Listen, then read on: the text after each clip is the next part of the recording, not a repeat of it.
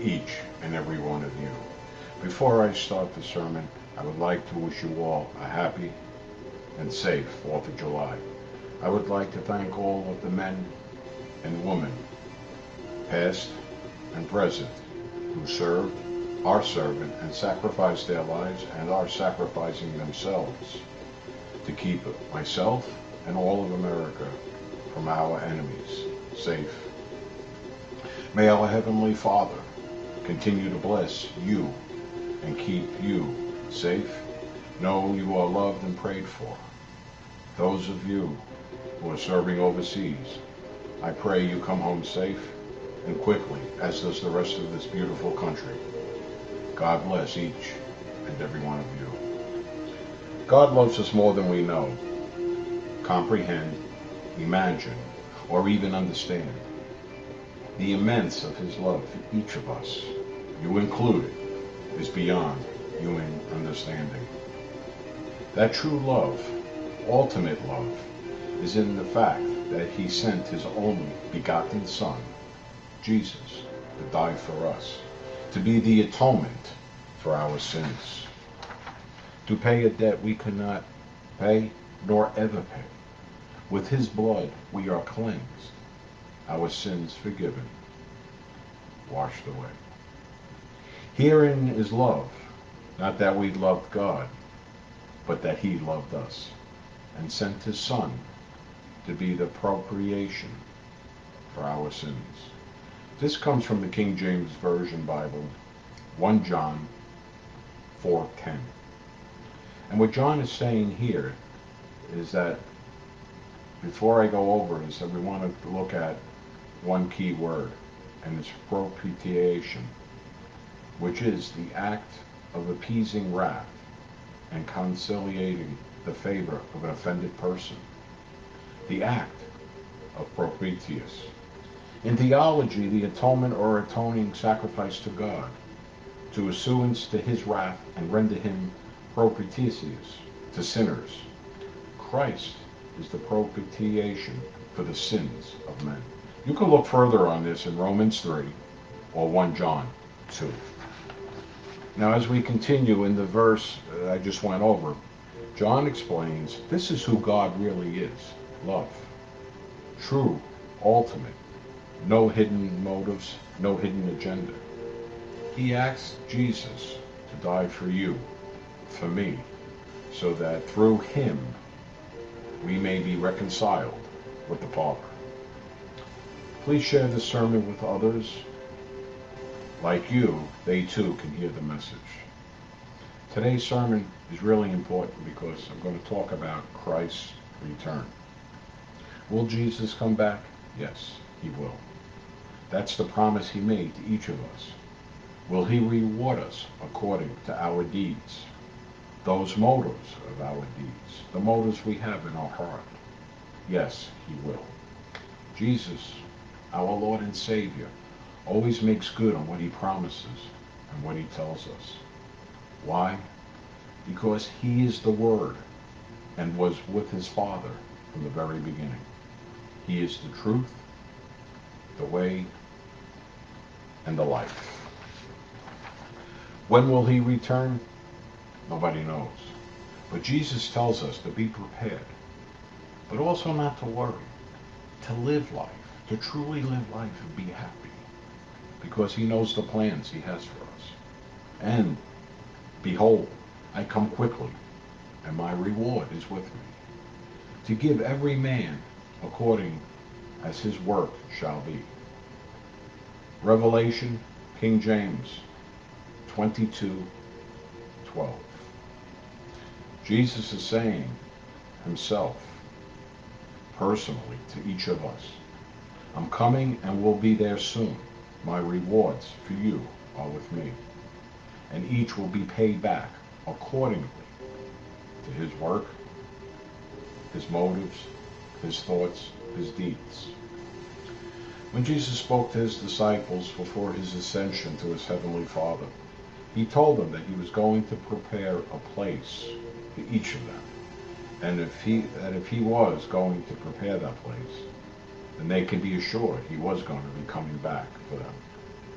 But you see, Jesus didn't only mean that for them, his disciples.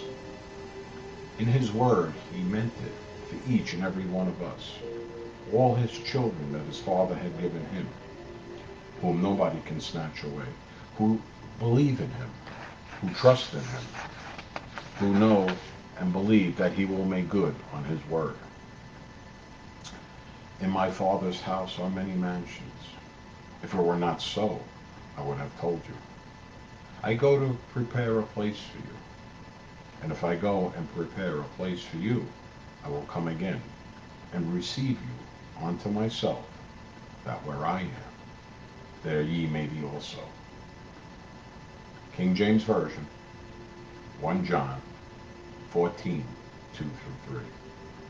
Now, what is Jesus telling us that he told John and to let all of us know? That in his father's house are many mansions. Now, are they physical homes, physical mansions? I don't know. That I can't say. But each of us, what Jesus is saying, has a place in heaven for those of us who endure and who believe in him, therefore believing in God. And if he's preparing that place for us, that we are written in his book of life, and he known that from the foundation of the world, then we can be assured that if he's gone there to prepare for us that place, our special place in heaven, then he's going to come again and receive us upon himself. So where he is, we may be. And when we're in heaven, we're in God's presence. And we're in Jesus' presence. See, Jesus is omnipresent like his Father. He's all over at the same time. So in heaven, he's with each of us for eternity, as the Father is. So we may be there with him and living in not only his presence, but our Heavenly Father's presence. Behold, he cometh with clouds, and every eye shall see him, and they also which pierced him, and all kindreds of the earth shall wail because of him. Even so. Amen. Revelation 1 7, King James. What's it saying here? That Jesus is not coming back to be born again as a child as he once did. He's coming back as our Lord and Savior, as our King, as the King of Kings, the Prince of Peace. And he will make sure that everyone, not one person will miss it, dead or alive, shall see him and acknowledge him as the Son of the living God who sits at the right hand of the Father, who is given authority by our Heavenly Father to rule as the heir over heaven and earth and all of creation. And he will make sure our enemies see him. That's what it says here. And they also which pierced him, not only the soldier who pierced him when he died on the cross, but all those who pierced him with their words, their actions, and their denial of him. When you deny Christ, you pierce him, you hurt him. And when he comes back, everyone, past, present, and future, will see him. And we will bow down and acknowledge him. Moving on in the sermon, but of that day and that hour knoweth no man, no, not the angels which are in heaven, neither the Son, but the Father. This comes from Mark 13, 22, King James.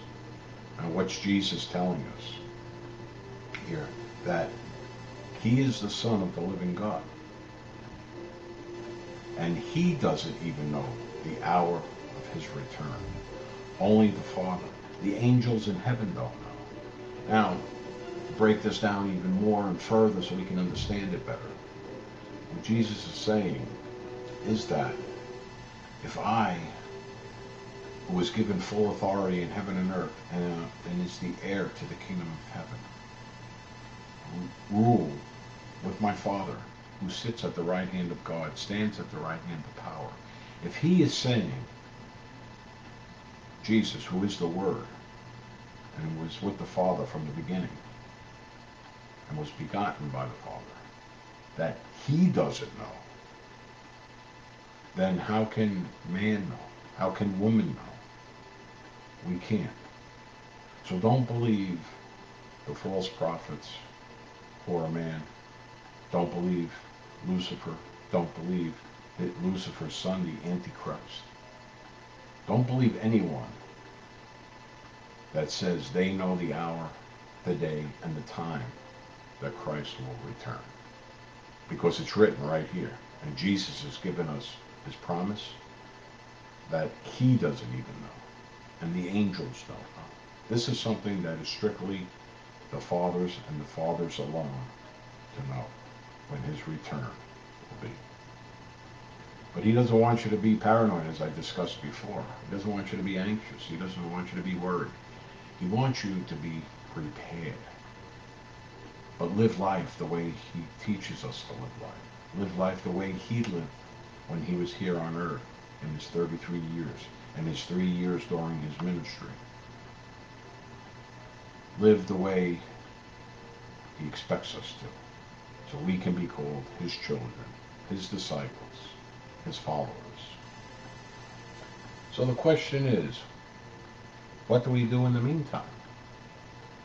You obey Jesus as God instructed us. You live life to the fullest. You don't worry about what others say about you or your reputation with them.